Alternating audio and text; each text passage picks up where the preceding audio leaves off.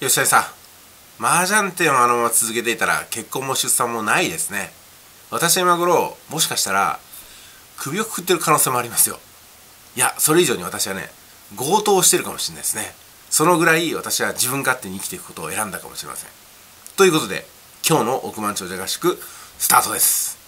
億万長者合宿。えー、速稼塾の久保です。毎日非常事態宣言ということでねまあ本当に商売やってると毎日が非常事態ですよ。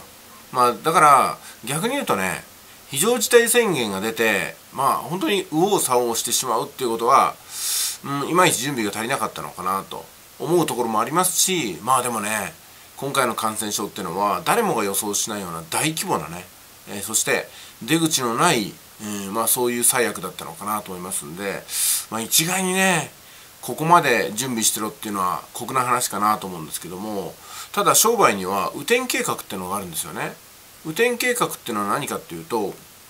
まあ商売やってると晴れの日ばかりではないわけですよ。雨が降って客足が遠のく日もあるんですよね。そういう時にどうするってことを事前に考えておくのが雨天計画だ。そうなんですよ。で私たちもねあのやっぱりビジネスをやってるんですけども特に輸出輸入というねえー、日本という垣根を越えて海外とやり取りをする商売をやってる方っていうのは今回のことでかなりね痛手を被ったんではないかなと思います。まあ、私のね速稼塾の塾生さんにもその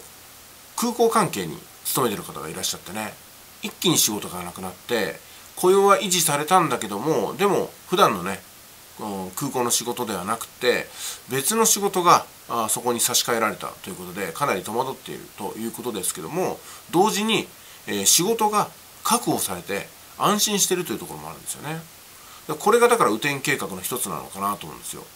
あの雇用を維持することってどのぐらい大事かっていうと例えばね今回の感染症が収まった時に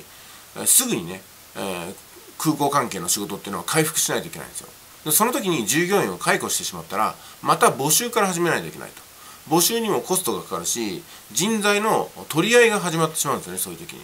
だから雇用は何としても確保したいと。でも今その仕事がないっていう時は別の仕事に振り返ることによって雇用を維持するっていうそういうふうな選択があるんですよね。ホテル宿泊旅館業それからバスの運転手こういった方も結構ねお仕事がなくなってきついっていうところもあるんですよ。その時にあの農業にシフトしてね。農業っていうのは海外からの実習生さんで支えられてる部分があるんですけども今回そういうのが来れなかったんでそこに、まあ、農業補助者として、えー、一瞬ねこう作業を振り返ることによって農業も雇用を維持する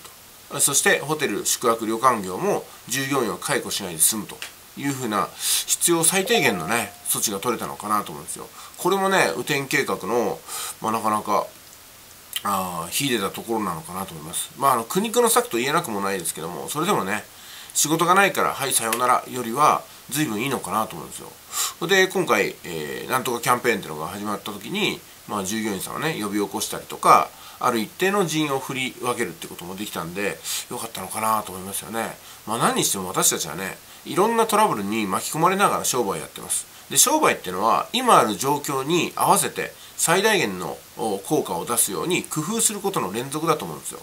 インターネットが始まればインターネットを取り入れて、え必要最小限の労力で最大限の効果を得ていくと。まさにこれが手の内のカード手にあるカードを手持ちのカードを使っていくってことだと思うんですよね。私たちは今手持ちのカードを全て奪われたわけではなくて、うん、使えないカードが出てきたわけなんですよ。例えばポーカーをやってる時に通常はねエースからキングそしてジョーカーまで全てのカードが使える52枚のカードが使えるわけですけども今回の感染症騒動っていうのはそうですね。エースは使えない絵札は使えないジョーカーはないっていう2からあ10までのカード。いやいや2から5までのカードでポーカーをやるって言われてるのかなと思うんですけども1ペア2ペアを続けることはできると思うんですよね。でそういうふうな形で、うん、まあ表現が難しいんですけどもうん、勝負っていうのを続けることができてもうねカード使えるカードがないからあ自分は絵札を使うカードとかエースを使うカードが得意だからもうゲームを降りたっていうふうなことにならないでも済むように工夫していくことができると思うんですよね。まあそういうことなのかなと。うん、ですんでねやっぱりこう商売っていうのはあのポーカーにも例えられるのかなと思っちゃうんですけどね商売をポーカーに例えるうんまあいろいろとここから話が展開しそうですねうんまあこれはなかなか面白いな。ポーカーに例えてちょっとねこれからたまにあの商売のことをお話していこうかなっていう気になってきました。うんなんかアイデアが出てきたななんかいろいろと。じゃあ速稼塾。うん億万長者合宿か。億万長者合宿リメンバー。お楽しみにこれからもよろしくお願いします。じゃあ次のフェーズ移りたいですね。うん急速にあのー、あれですね。この億万長者合宿も次のステージに向かってますね。いってらっしゃい。